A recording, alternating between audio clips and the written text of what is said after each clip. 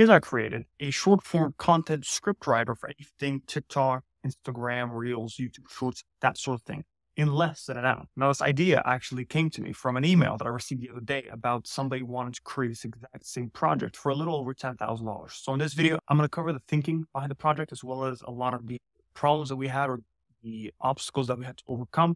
And at the end, we'll be pretty far along the same project for you to get a good grasp on how to create something like this for yourself. If there's any other product you have in mind that you would like me to cover, just either send me an email or leave it down in the comment and we'll try to get through them. I love making these. Now, as with any product like this, the first thing that I like to do is simply break down all the questions that need to be asked. The first three that came to my mind were first of all, how users interact with interface in which people can talk to it? Where would this information go? Meaning, when I ask a question, where do those answers go? And then whenever a script is generated, where are those stored? Third of mm-hmm. all, it's what service would I actually use to build this? Would I use Zapier, Make, VoiceFlow, maybe even Stack AI? And uh, I'm actually gonna hop on my computer and I'll show you exactly how we overcome each of these questions. Let's jump right in. The first thing I want to show you was actually the finished product for this demonstration, and then kind of work our way backwards to see how we decide to come, to come up with this. What you're looking at is a Framer website that I just made using Framer.ai, and I uh, called a short form content generator with a random dummy video that just looks nice.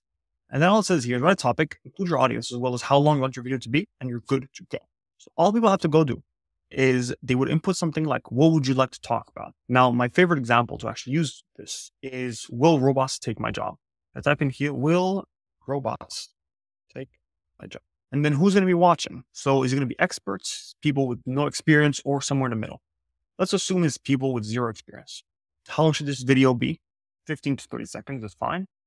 And the last question is, is this going to be a longer video or is this a just purely self-contained one? What I mean by this is that when people are watching this short video, are you pushing them to a longer video you may have made about this topic? Something along the lines of, hey, if you want to know more about this, you should click on, on this link, go to this link, whatever. Or is it purely just a short video and there's nothing else? For this example, I'm going to use just self-contained. I press submit. Now, if I've done everything right, I'm going to go in my email and I should see a new script being generated. And the service that's actually using in the background is relevance.ai. And I'll jump to that in a little second. Let's see what I have in my email. Now, and I just clicked on this. It came literally zero minutes ago. It says, hey there.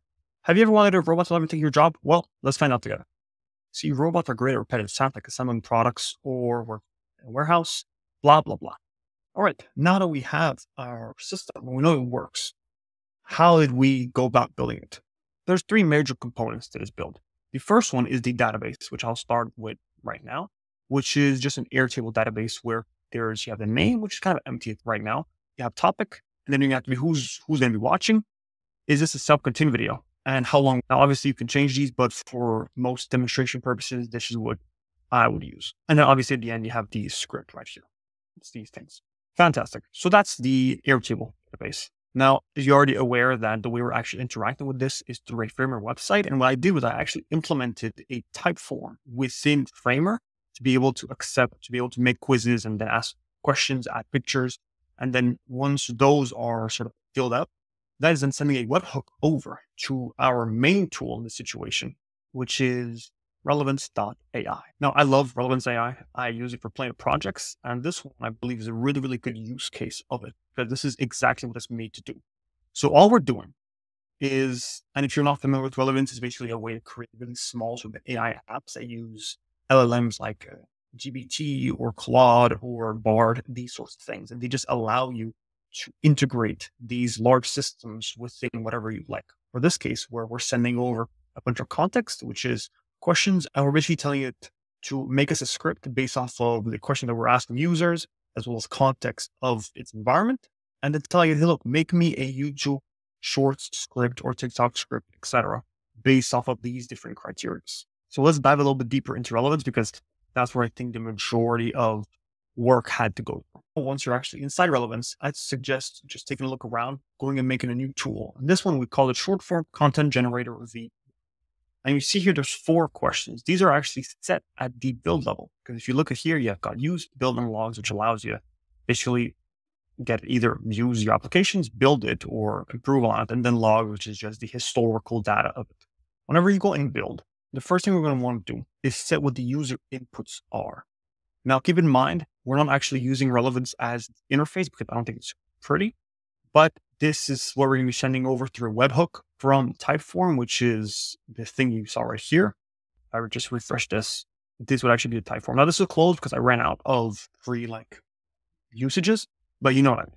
We have what would you like to talk about? Who's going to be watching? How long should the video be? And then do you have a longer video on these topics? So the only four things. You can add as many as you'd like, but for example, or for demonstration purposes, I think this is the most beneficial.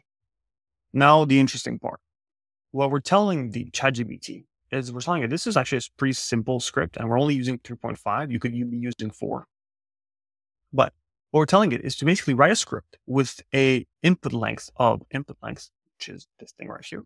And then discussing whatever topic we gave it, keeping in mind that the audience are X audience. And you must also take into consideration that the script should be either self-contained or be part of a larger video. Do not answer, not include the word answer, and do not include a quotation mark, anything weird like that. What we did is we said you are a short form content expert with expertise on YouTube Shorts, Instagram Reels, TikToks, and you use your knowledge of audience retention, pacing, scripting, and editing to generate the most engaging content. Purely based on that, you can have a pretty solid way of building this machine.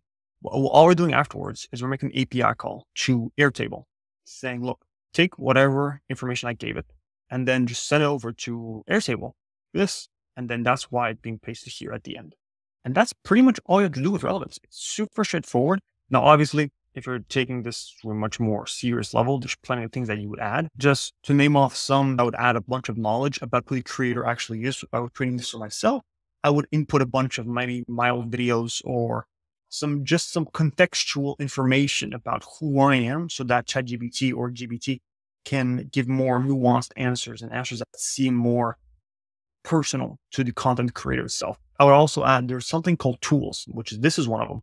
Another one is the ability to actually search the internet. So what I would do is I would run a Google search for the latest news about X topic. And then it can maybe use that as sort of contextual basis on what to build off of when it's actually writing scripts.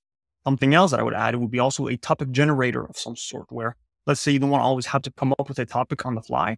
I want this to actually make me a topic, or at least help me figure out a topic. On that note, another one I would do would be, and by the way, I'm not building this just because this is for an examples purpose. It's just to show the possibilities of relevance AI. But the super interesting idea would be whenever it generates a script, it would also generate you some basically subtopics to follow up so that if somebody's looking at your home screen or your feed and they're scrolling through your TikToks, it kind of makes sense because if one follows the other, right? The natural progression. It's not just random ideas here and there. There's actually progression or there's a flow to these things. The last thing I actually wanted to touch on was Airtable. And this is actually pretty straightforward. Like I said, I'll just make a couple of columns.